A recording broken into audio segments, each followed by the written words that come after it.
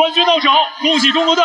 就在昨天，全红婵和陈芋汐再一次证明了，无论他们分开还是合体，他们都是这个星球上最强的存在。经过一年时间的磨合，如今的王炸组合更为默契和强大，如艺术一般的动作让所有人看得如痴如醉，连对手都变成了他们的小迷妹。二零二三年七月十六日，第二十届游泳世锦赛在日本福冈如期举行，来自世界各地的顶尖跳水队汇集于此。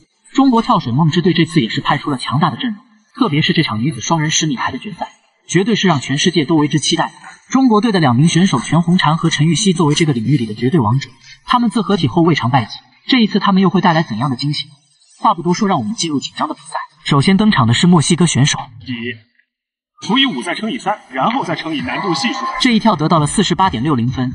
接下来是英国选手的第一跳，同样得到了四十八点六零分。美国选手的第一跳。得到了四十五点六零分，下面就是王炸组合的第一条。漂亮！王炸组合的第一跳就引起了全场的欢呼，也宣告了对手冠军已经尘埃落定。无论是空中动作还是入水的控制，俩人都是在降维打击，最后得到了五十六点四零的高分，排名第一。来到第二轮，墨西哥选手的第二跳，最后得到了四十六点二零分，英国选手的第二跳。得到了四十八点零零分，美国选手的第二条，哦，最后得到了三十八点四零分，王炸组合的第二条，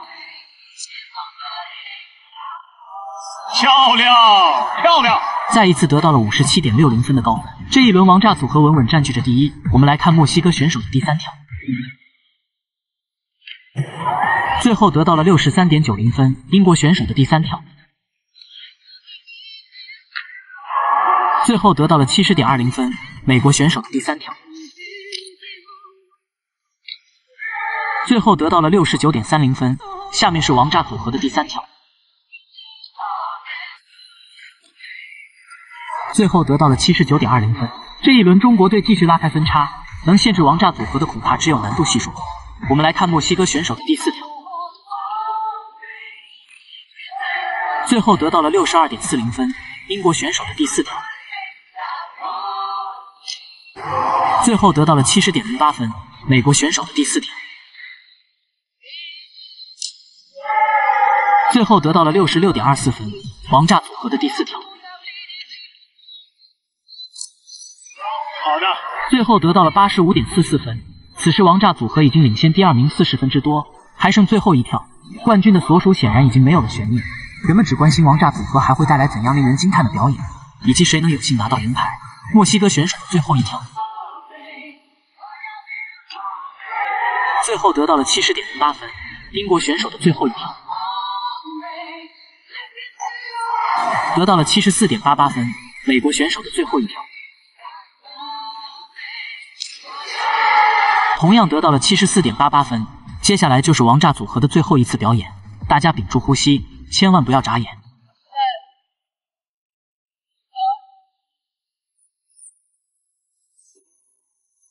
冠军到手，恭喜中国队！恭喜陈芋汐和全红婵，从组队至今越来越默契，越来越好，从未败过。毫无疑问，王炸组合再一次用赏心悦目的表演征服了每一个人，无论是对手还是观众，都成为了他们的粉丝。最后，裁判更是给出了九十一点二零的高分，帮助他们一举拿下金牌。让我们一起为我们的王炸组合鼓掌点赞，你们是中国的骄傲！天才永远不会被埋没，是金子永远会发光。时隔两年，天才少女张佳琪再次出现在世人眼前，凤凰涅槃的她王者归来，这次会给世人带来怎样的惊喜呢？二零二三年七月十五日跳水世锦赛混合双人十米台决赛，坐标日本福冈，中国跳水梦之队派出张佳琪和小将王飞龙，他们将全力冲击本次世锦赛的第一枚金牌。相比张佳琪来说，小将王飞龙这是第一次参加国际大赛，所以很显然张佳琪身上的担子会更重一些。但是从张佳琪坚定的眼神中，我们可以知道，沉寂太久的他这次必将一飞冲天。那接下来我就不逼逼了，让我们抓紧进入紧张又刺激的比赛吧。首先登场的是葡萄牙选手，最后得到了四十六点八零分。接下来是乌克兰选手的第一跳。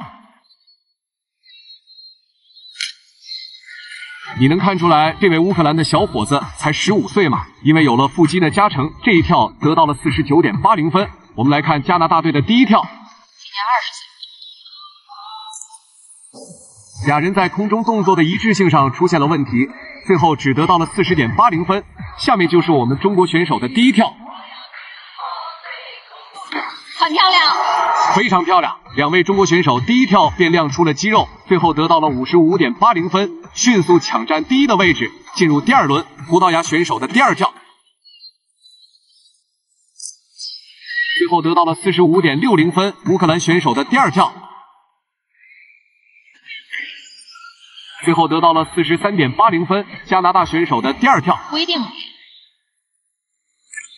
自选呢是 T 了一个，最后得到了四十五点零零分，中国选手的第二跳没有问题，简直太漂亮。两位中国选手上演了水花消失术，又是一个接近满分的动作。随着难度和比赛的升级，外国跳水队都开始出现失误。从这你就可以看出，中国队完全在降维打击。而接下来的自选动作才是好戏的开始。葡萄牙选手的第三跳选择幺零七 B 难度系数三点零，这一跳得到了六十八点四零分。乌克兰选手的第三跳同样是幺零七 B 难度系数三点零，我该做什么了？最后也得到了六十八点四零分。加拿大选手的第三跳选择四零七 C 难度系数三点二。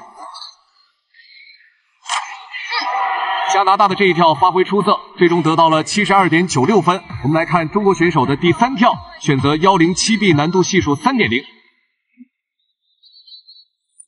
漂亮，有了！今天状态实在是太好了。我去，这也太离谱了。从侧面看，高速旋转的俩人完全重叠。毫无疑问，凭借八十一点九零的高分，中国队继续霸榜。此时比赛的冠军所属似乎失去了悬念，大家就想看看中国选手到底还有多少惊喜。我们来看葡萄牙选手的第四跳，选择四零七 C 难度系数三点二，最后得到了七十五点八四分。乌克兰选手的第四跳选择四零七 c 难度系数三点二。最后得到了六十一点四四分加拿大选手的第四跳选择二零七 c 难度系数三点三。最后得到了六十八点三一分中国选手的第四跳选择四零七 c 难度系数三点二。这一跳，王飞龙出现了抢跳，最终获得了七十二点零零分。但中国队依然稳稳排名第一，还剩最后一跳，大家都很好奇，谁会在中国队手下斩获一枚宝贵的银牌呢？我们拭目以待。葡萄牙选手的最后一跳，最后得到了七十六点八零分。乌克兰选手的最后一跳，最后得到了七十二点零零分。加拿大选手的最后一跳。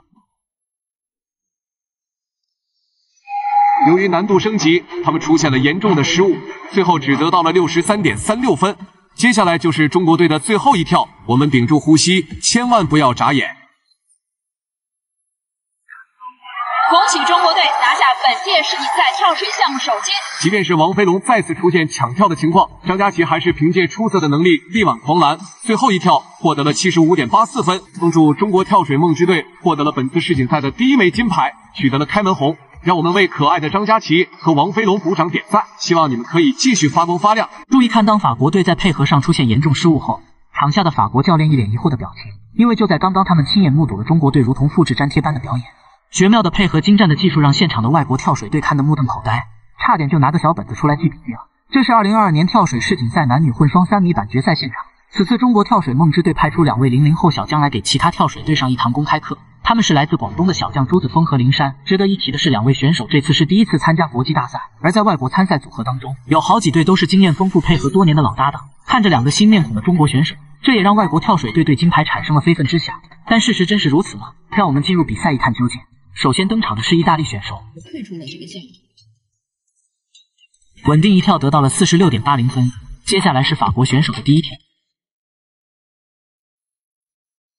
这一跳，俩人在配合上出现了失误，最后只得到了三十九点零零分。我们来看英国组合的第一跳，最后得到了四十四点四零分。下面就是中国队的第一跳，两位中国小将的第一跳便向所有人宣告：我们中国队随便拉俩人出来都是无敌的存在。这堪称教科书式的一跳，直接拿到了五十四点六零分。中国队在第一轮就取得了绝对性的优势。进入第二轮。意大利选手的第二跳，最后得到了四十二点零零分。法国选手的第二跳，最后得到了四十四点四零分。英国选手的第二跳，这一跳英国队出现了严重失误，最后只得到了三十六点六零分。中国选手的第二跳。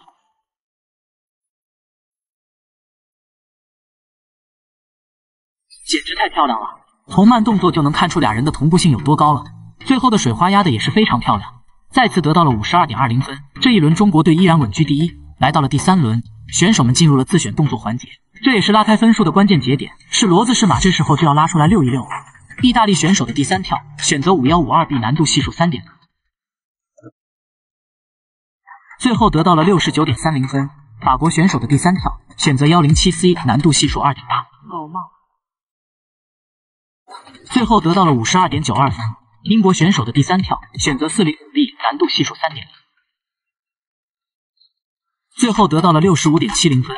我们来看中国选手的第三跳选择二零五 B，难度系数三点，也没有问题。出色一跳得到了七十二点零零分。第三轮结束，中国队逐步开始拉开分差，还剩最后两跳，外国跳水队会做出最后的反扑吗？让我们拭目以待。意大利选手的第四跳。选择幺零七 B，难度系数三点一，最后得到了六十九点七五分。法国选手的第四条选择五幺五二 B，难度系数三点零，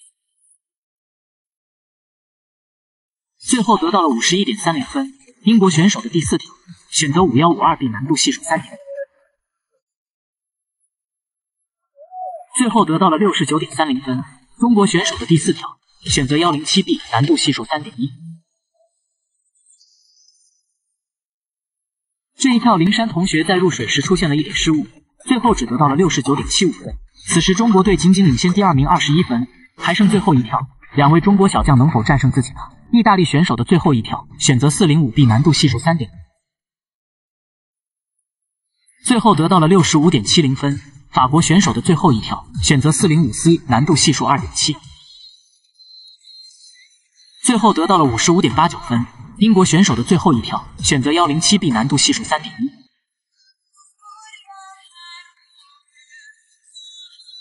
英国队的这一跳十分出色的得到了七十一点六一分。接下来就是中国选手的最后一跳，选择五幺五二 B，难度系数三点零。两位小将能否顶住压力，给外国队来个现场教训？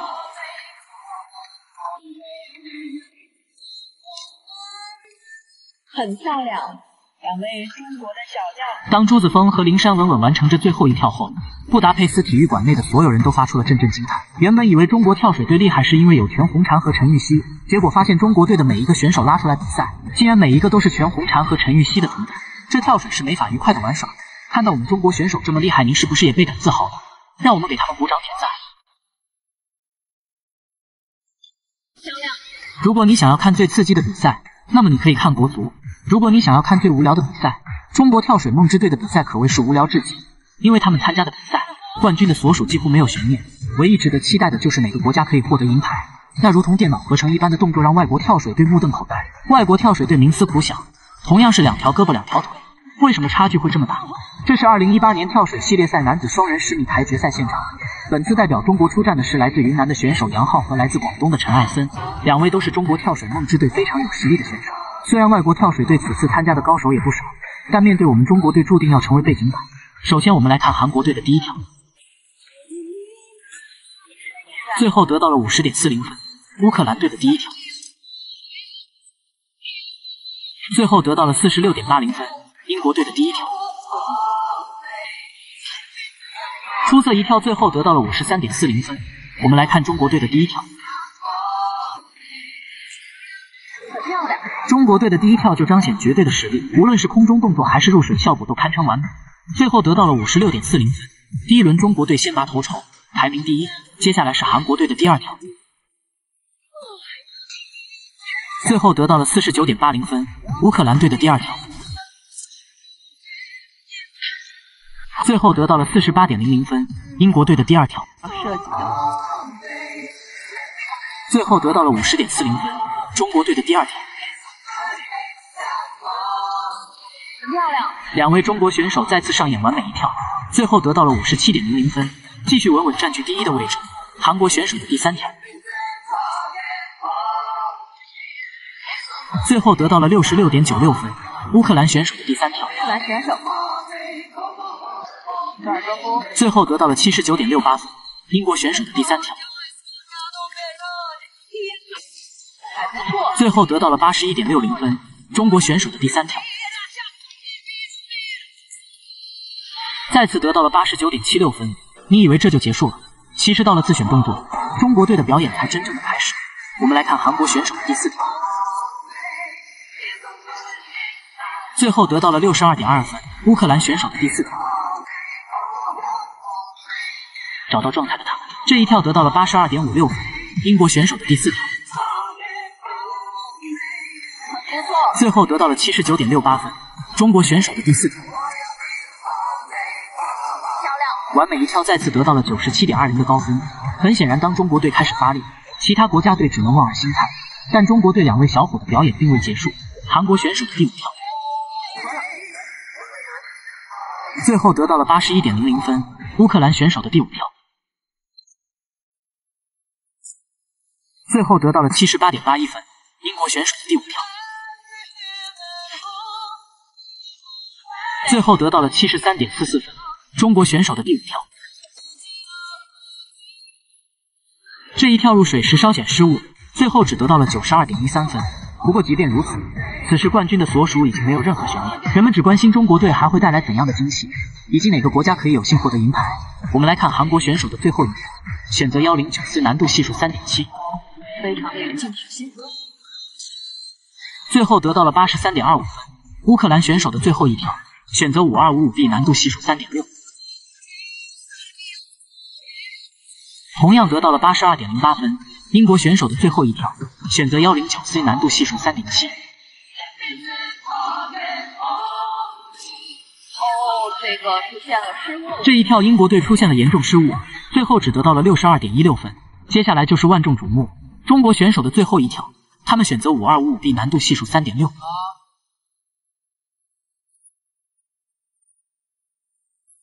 最后两位中国小伙以极其艺术性的一跳终结了比赛，给所有外国跳水队免费的上了一堂课。让我们给陈艾森和杨浩鼓掌点赞，同时也要恭喜乌克兰队获得了银牌。